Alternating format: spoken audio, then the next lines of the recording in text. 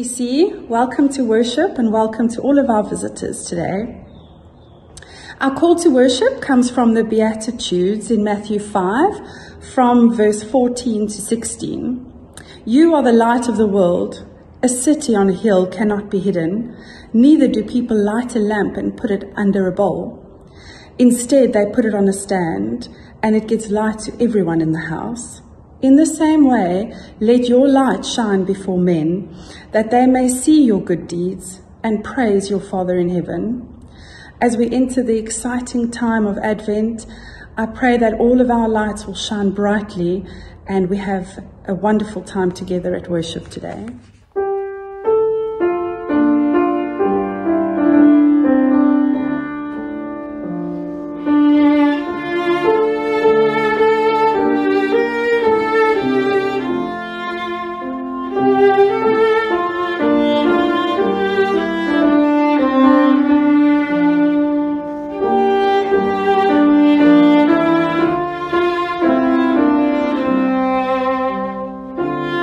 Let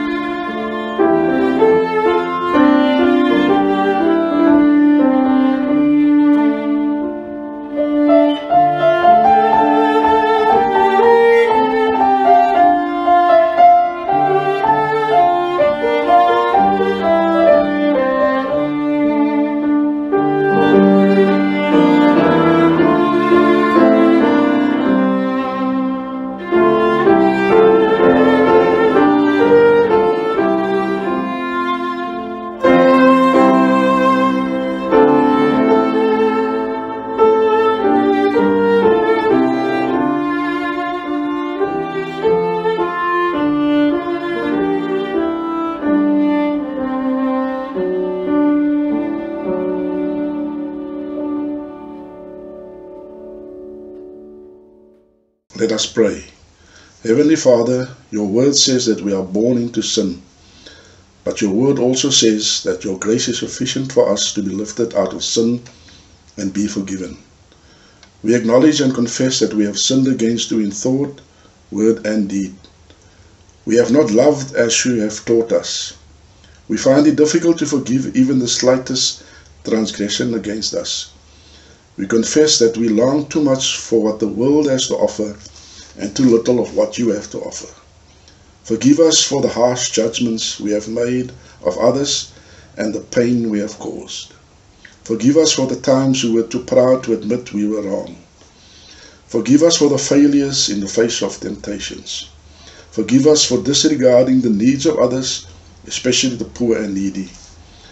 We acknowledge that we are spiritually poor, but through Jesus Christ we ask that you strengthen our faith and our trust in you. We just want to thank you, Lord, for loving us, for encouraging us, and for your continued presence in our lives. Lord, have mercy on us and make us whole for the sake of our Lord Jesus Christ. Grant us the grace to please you, Father, in the name of our Lord Jesus Christ. Amen.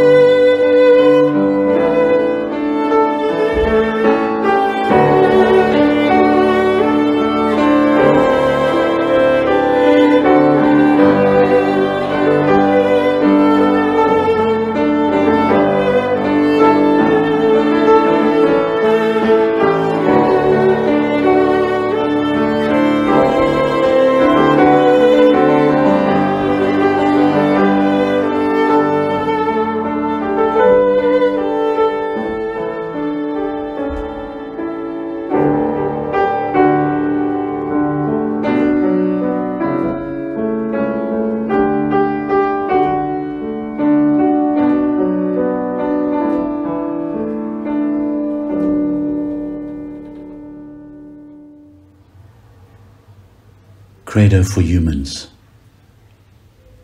We believe that Jesus is fully God and fully human, God in the flesh, that the Word became a human being and lived among us, and we have seen his glory, the glory of the only Son of the Father, full of grace and truth. We believe in the human Christ and trust in the humanity of Christ we believe that Jesus is the icon of the Father and in his human life associated himself with us fully. Jesus is the way and the truth and the life. Jesus revealed the way to human life. Jesus unveiled for us the truth of human life. Jesus is our life. We believe in the incarnation, that God embraced humanity and continues to embrace all people with his life and death and resurrection, calling upon his church to do the same. We believe that Jesus loves all human beings, calling upon his church to do the same. We believe that Jesus is the head of his body, the church, and that Jesus reigns in our humanness by the Holy Spirit of God. We believe that the Holy Spirit of God lives within us, empowering us to be as Jesus to all people. We believe in Jesus Christ, Lord of the cosmos and of humans world without end. Our reading is from Isaiah 64 1 to 9.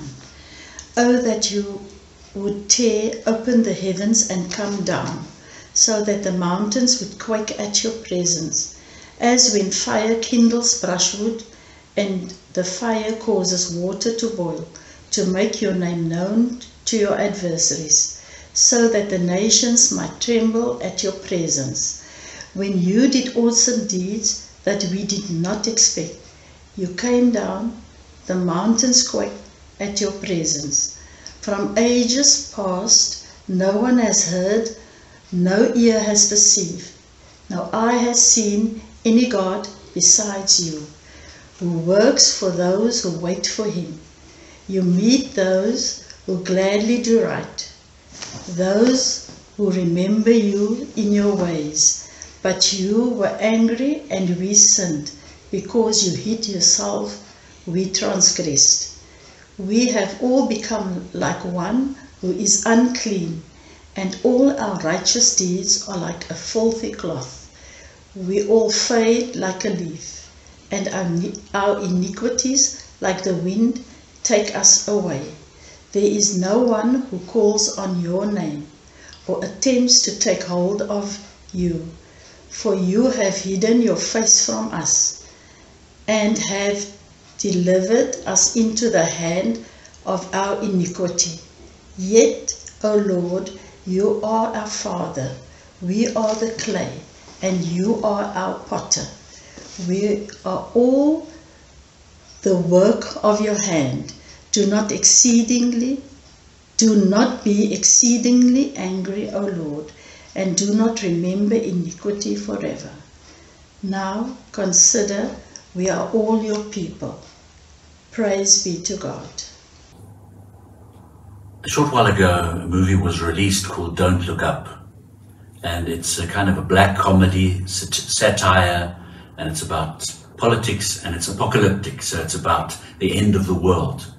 And of course, the movie is, is directed at global warming. But it's really about not looking up because looking up is going to, you're going to see a comet that's going to come down and destroy all of humanity. One of the quotes that I like, love from the movie is this one, where you get one of the characters, Kate Dibiasky, who's talking to Dr. Randall Mindy, and she says, we have exactly six months, 10 days, 2 hours, 11 minutes, and 41 seconds until a comet the size of Chiluba tears through the atmosphere and extincts all life on Earth. And Dr. Randall Mindy replies, When do you do these calculations? And Kate Dibiasky says, I put the moment of impact on a diet app. Now, I don't want to talk about global warming today, but I do want to talk about uh, our world. Our world is in a dire place for more than one reason. I joked with someone this week about our own country and the troubles in our own country and said that if we started complaining right now and we continued to complain um, about what was going on in our country, we would never have enough time while we're alive to complete the complaints, never mind the solutions. But what is happening in our world? I read an article called What Terrible Things, What Terrible Things Are Happening in the World Right Now that a lot of people don't know. And in the article, he doesn't really uh, give us the ones we don't know, but he, and I'm not going to go through all of that, but he, I want to read to you the headings, his own headings. Um, he starts by saying, Unfortunately, we live in a world that is filled with danger, corruption, sadness, and crime. And these headings are like this sad and scary, unfair, awful, can't catch a break, terrible, wow, didn't know about this, a harsh reality, sad but true, a tough situation, grim, concerning. Aren't those some of the things that we feel and think when it comes to what's going on in our world, what's going on in our own country and in our own society? At the moment, there are many, many world wars going on, or world wars, wars in the world going on. There's the war in Afghanistan, where you have the Taliban fighting against the Afghan government. It started in 2001, then you had the US coming in, and that war has resulted in the deaths of over 240,000 people and has displaced millions more.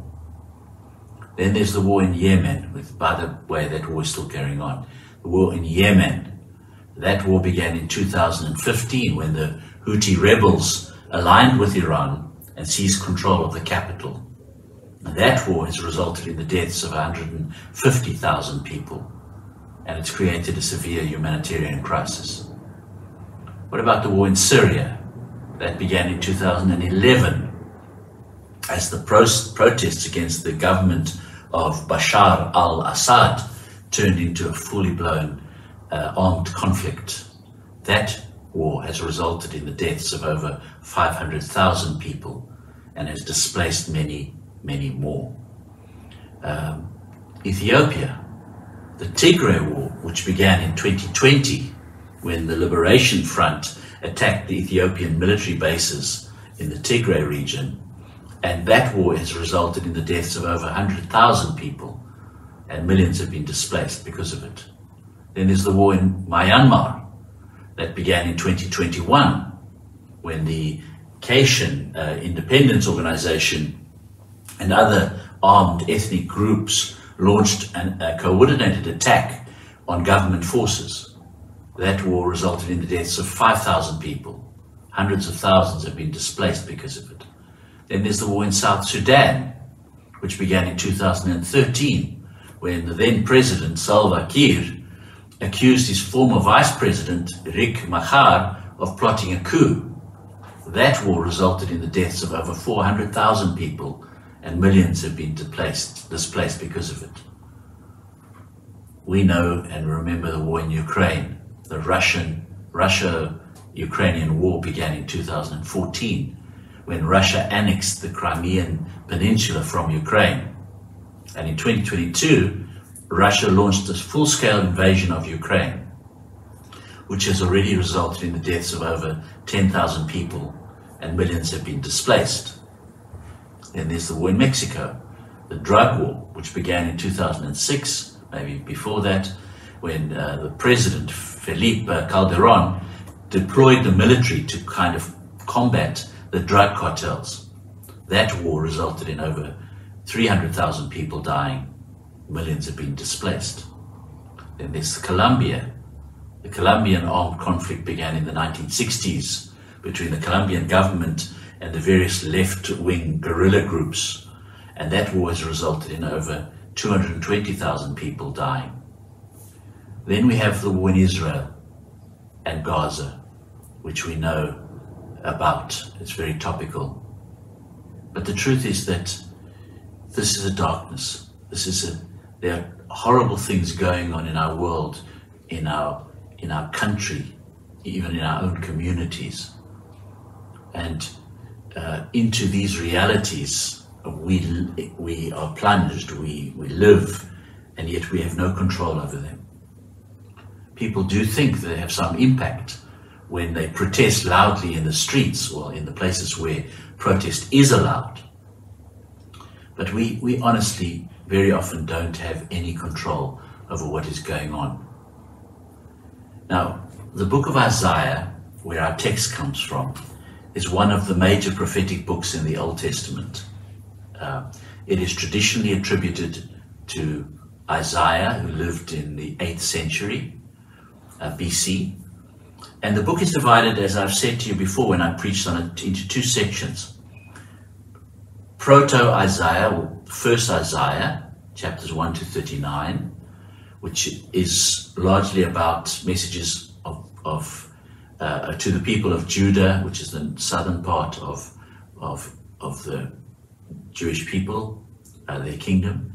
And um, they're told that they're moving away from God. The social justices, injustices are, are spoken about. Then in, in Proto Isaiah, uh, Isaiah emphasizes the importance of repentance, turning back to God. And there are also prophecies about the two invasions uh, of the Assyrians in the north and then the Babylonians in the south that led to the exile of the Jewish people. The second Isaiah, uh, or Deutero Isaiah, uh, is, is made up of, of um, messages of comfort and hope and redemption. It's written largely during the time of exile when the Babylonians had come and invaded the, the, the land of Judah and they'd taken all the, the, the people who were artisans, people who had things to offer them, and they took those people and they took them to their own country, uh, Babylon, their own land, and they were away from their own country and they were away from everything they knew. They were away from the temple and into that situation, Isaiah speaks words of comfort. And the tone of judgment in the first part of Isaiah uh, shifts to the promise of God restoring these people. Now we come to our passage specifically. Our passage reads like a psalm because it is a prayer that calls to God for help, for perspective, for change. And sometimes the only thing that we can do is pray. When we cannot see the light, when we are in the darkness, then all that we can do is pray. And, and the psalmists often uh, give us an understanding of that. But the first thing that Isaiah prays for is that God would come. Isaiah 64, verse 1. Oh, that you would tear open the heavens and come down so that the mountains would quake at your presence. As when the fire kindles brushwood and the fire causes water to boil, to make your name known to your adversaries, so that the nations may tremble at your presence. When you did awesome deeds that we did not expect, from ages past no one has heard, no ear has perceived, no eye has seen any God besides you, who works for those who wait him, who wait for him. Now, of course, we are entering Advent, uh, the time when we move towards the um, beauty of the coming of Jesus being born in the flesh. And Advent is a time of waiting. It's waiting for what we long for. And sometimes it's waiting in the deep darkness.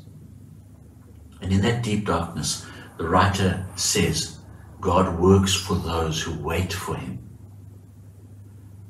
And he expresses a plea and a prayer for God's intervention and mercy. He says, Tear open the heavens and come down so that the mountains would quake. Now, this image of tearing open the heavens is found only here in the Bible. And the verb has an idea of tearing garments. Um, you know, in, in those days when people grieved, they would often tear and rip their clothing in gestures of mourning or grief. But here, the ripping open is applied to the heavens. God, tear open the heavens, come down. We need you to come and engage with us, intervene. Let's look a little bit more at the context. the, the chapter reflects a yearning for a renewed relationship with God, an appeal for God's intervention in the face of people's shortcomings. The glory of Israel had long faded. The people had been invaded, they'd been carried into captivity, and they'd been exiles in a foreign land. And we have a lot of exiles in our country. Uh, most of them have come here because they've sought a better place. But in this case, in Babylon, uh, the people of Israel were there because of the invasion. They'd been taken away from their homeland. And um, this Babylonian exile in the 6th uh, century, uh, when the uh, southern kingdom of Judah was conquered, uh, is a very important theme in in the whole of the New Testament, actually. Um, and let's look at what was in the heart of the people. The people of God were defeated, literally and psychologically. They felt defeated. They had drifted away from their core faith because they didn't have the landmarks of their faith there, which was the land, which was the, the um, the temple, which was one another. They therefore had neglected religious observance. In other words, they stopped praying, they stopped worshipping, they stopped doing the things that they were doing when they were in their, their homeland. And the book of Isaiah says they also lived in open rebellion against God. Uh, their rulers had set up false idols and were corrupt um, and disregard for the poor and the ill disposed was rampant. And the people refused to listen to the prophets, to messages from God. When the prophets came and told them that God wanted them back to restore them, they, they didn't want to know. So it was a long time since they'd experienced prosperity and before they'd experienced God. And God had seemed for many years uh, far away. They felt, they felt as if God had abandoned them. Uh, he says in verse, uh, second part of, of verse 7, You've hidden your face from us and have delivered us into the hand of our iniquity. This is what they feel. This is not what God has done. God hasn't hidden himself. But it, they feel as if God is no longer looking at them in favor they feel that they've been handed over to their own sin. And uh, what a terrible thing it would be for us to be handed over uh, to our own sin, to our own iniquity, as he says. So they felt God had let them go. And now in captivity, God sent people in there, to, in there to talk to them, to help them recall their past. Sometimes we need to remember the past so that we can move back to a new place. And the, the, the, the writer, I almost said psalmist, but the writer of the psalm in Isaiah says, We remember how you intervened in the past on our behalf. We long to experience your presence, God. And so he opens up with, with the anguished words, Oh, that you would tear open the heavens and come down. Come down, God. Come down. Come Come see us, God. Come to us in power. Come to us in a visible sign. Now, there are people that in our lives that we don't want to come and visit us. Maybe it's our aunt and uncle that uh, we battle with, or maybe it's cousin, or maybe it's that friend who keeps on coming and then doesn't leave for days. Um, I remember that when I was a boy, that my parents had had two kind of ways of getting uh, us, making us aware of what was happening. The one was if we saw a car pull up. My father was quite a uh, introverted man, and he didn't want to always see people. So if if it was somebody that my mom and dad didn't want to see, we would have to hide. So it would be like, oh, Auntie Belicia, hide. And then we'd all duck, duck down, we'd hide behind the bed, we'd just sit down, and we'd have to be quiet. And I remember, it didn't happen very often, but I just remember a knock at the door and we would just be quiet. And sometimes we would, as children, would say, but mommy, somebody the door. My would say, shh, shh, down, shh. So there are people that you don't want to come and visit. We'd, we'd hope that they'd knock and then eventually they'd, they'd disappear. Uh, some of them were quite persistent and they'd look through the, the, the front door and through the windows to see if we were there. But then there are people that we want to come and visit us. You long for them to come and visit. Um, and amongst those were my granddad and my nan, my grandmother. They would often visit us, and especially on a Saturday, midday. Now, I had wonderful grandparents whom I was very close to on my mother's side. And they were loving and they were true. My grandmother was so gentle and humble and loving. My grandfather was strong and powerful and kind. And on a Saturday, I remember many Saturdays where we would hear a knock at the door and we would come out and there on the stairs of our house, uh, especially the days when we didn't have groceries, there would be 10 to 20 bags of groceries that they had there for us. And we would go into that treasure trove and bring the groceries inside, and then we'd have a wonderful lunch together. Um, they visited with power and they visited with beneficence. The Hebrews wanted and needed a visit from God. The Bible tells us that God is a visiting God, a God who moves towards us in the best possible way. Uh, the Bible begins with this Creator God, not only bringing creation into being, but visiting our first parents in the Garden of Eden. In fact, according to Genesis 3, the Lord came walking in the neighborhood where Adam and Eve lived. And the Lord called to the man and said, Where are you? God visited Abraham in the guise of angels who sat down for a meal. God visited Jacob, wrestling with him in the night.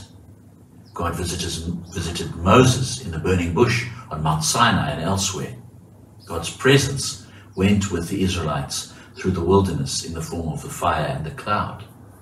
God visited Samuel as a boy, calling him in the sleeping hours. God visited Elijah in a still small voice. So when but here, when the prophet cries, Oh, that you would tear open the heavens and come down, the prophet is asking that God visit in a different way, with power, with awe, um, in a, maybe in a scary way, he's asking, because he speaks about power with earthquake. He's asking for power because he knows that what is needed is a powerful visitation of God. That what is needed in the world that he inhabits, the world of the exile, is the power of God to change people's lives, to change even the circumstances. And he, when he says this, he is recalling some of the other passages calling God to come. There's many of them in the Bible. I'll give you a few examples. Psalm 7, verse 6. Arise, O Lord, in your anger. Lift yourself up against the fury of my enemies. Awake for me.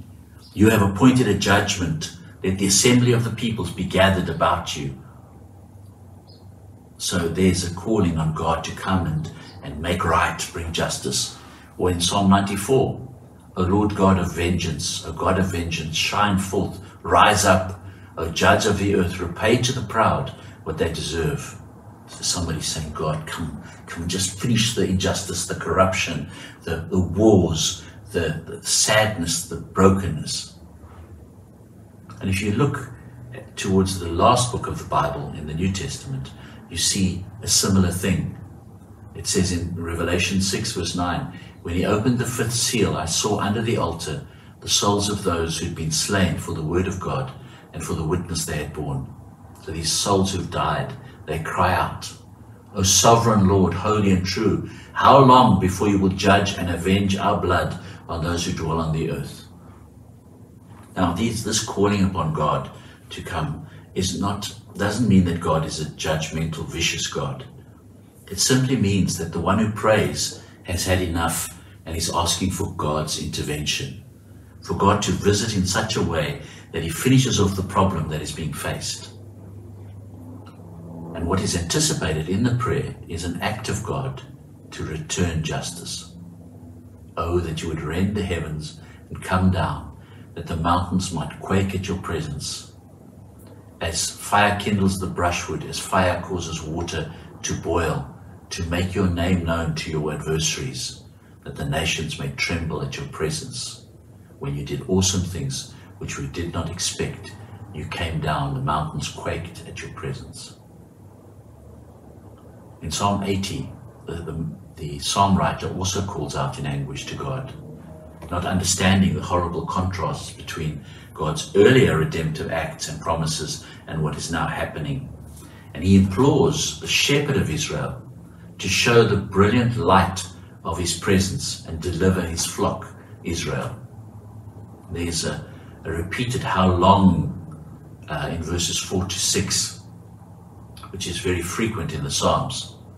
Now, the key uh, is to catch the full significance of the refrain in verses 3, 7, and 19. There's a repeat, a repeat and it's repeated and repeated. Verse 3 says, Restore us, O God, let your face shine that we may be saved. Come, restore us. And then verse 7 begins with, Restore us, O God of hosts. And then verse 19 begins, Restore us, O Lord God of hosts. Now, the expansion of the name of God, because it says, O God, and then it says, O God of hosts, and then it says, O Lord God of hosts. It's not just a literary device, it's conveys the escalation of the psalmist's inner groaning and heart, heartfelt plea to God, who alone can restore what has been lost. So it's, oh God, and then it's, oh God of hosts, and then it's, oh Lord, God of hosts, come, tear open the heavens. There's something beautiful in the mechanism of prayer. Prayer is a strange thing. It's not making simple requests to God. Prayer is about an awareness of God. It's about acknowledging need. It's about making our need clear to ourselves. It's about finding a way to connect with God and for God to connect with us. It's asking God what we want as well and then waiting upon Him. Prayer is also waiting. The prophet feels as though they're in something of a quarantine, that they must be infected or something. Maybe there's some reason God is staying away. Um, he suspects, as often the writers of these poems do, that something is wrong. He says in verse 5 You meet those who gladly do right. But he also knows that God works for those who wait for him, echoing Lamentations 3.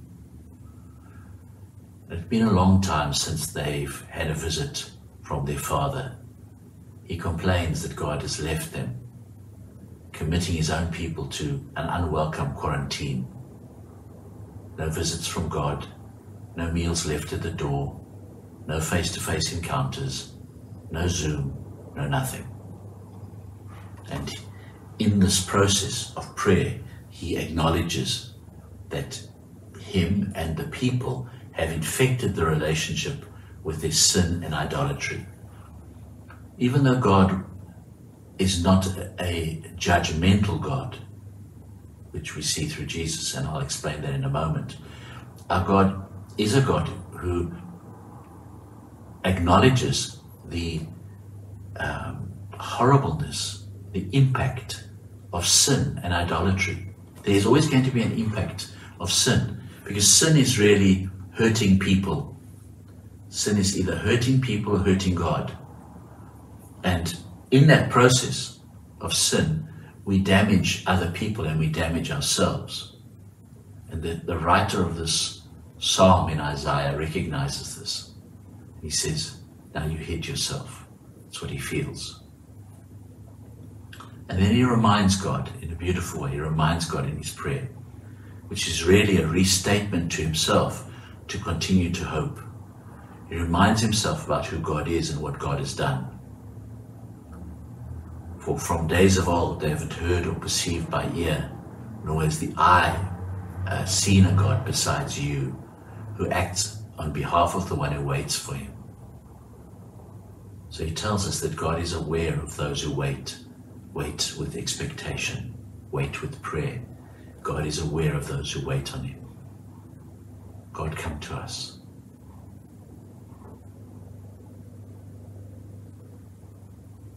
How lonely sits the city that once was full of people.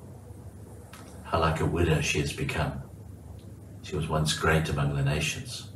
She was a princess among the provinces, and she has become a slave.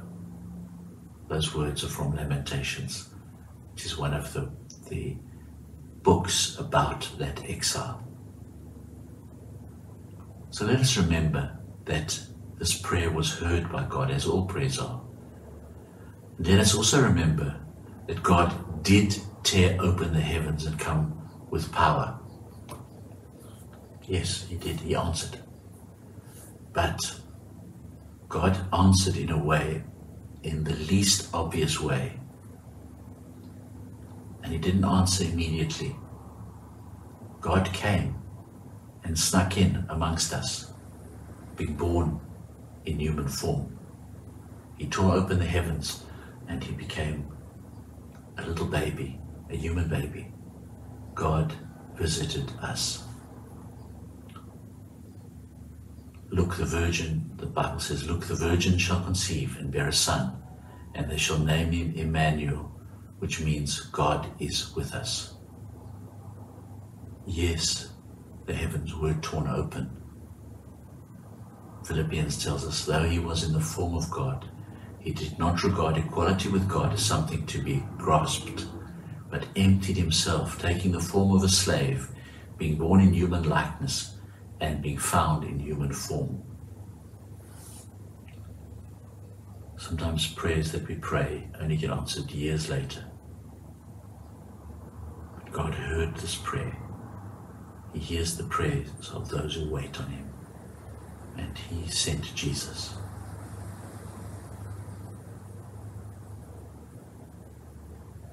Let us pray.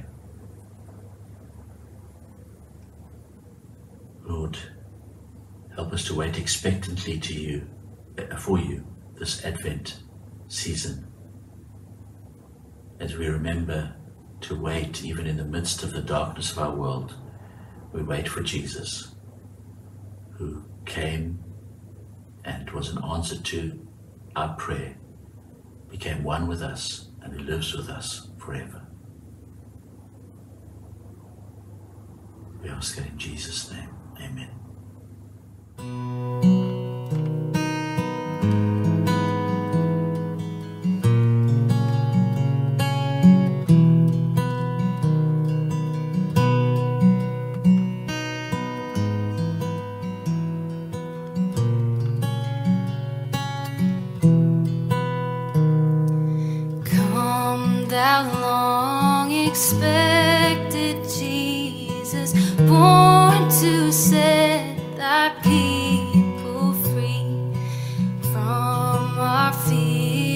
Sins. Release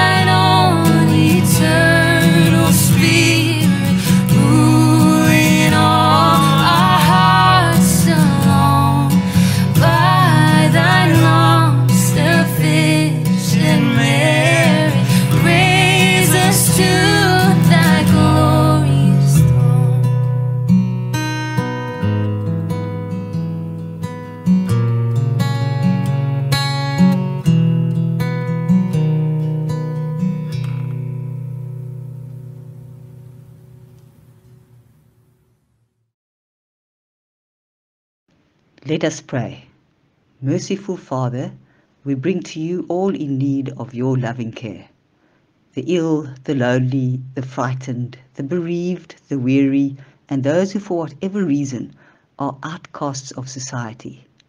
We pray that the cycle of gender based violence and crime and murder in general would cease through the conviction of your Holy Spirit and by the establishment of good, fair governance toward all people in our society. Kindle in each of us the desire and resourcefulness to ease the pain and suffering of our neighbours. Sovereign Lord, we pray for the leaders of all nations, and particularly our state president and his cabinet, and ask that they will seek to govern with integrity, be blessed with wisdom, and seek the good of all their citizens, displaying an increasing dependence on the one who holds the whole world in his hand. Father, we are saddened and conflicted by the situation in Israel and Palestine, and we pray for leaders to seek and commit to a peaceful and viable solution of the complex problems in that region. We know nothing is impossible for you. Finally, Lord Jesus, we pray that as Christ's body on earth, your church in all its diversity would be a powerful, pertinent, and compassionate expression of your grace and truth that was, is, and evermore shall be. This we pray in your glorious name. Amen. Now may our Lord Jesus Christ Himself and God our Father, who loved us and gave us eternal comfort and good hope through grace, comfort your hearts and establish them in every good work and word. Amen.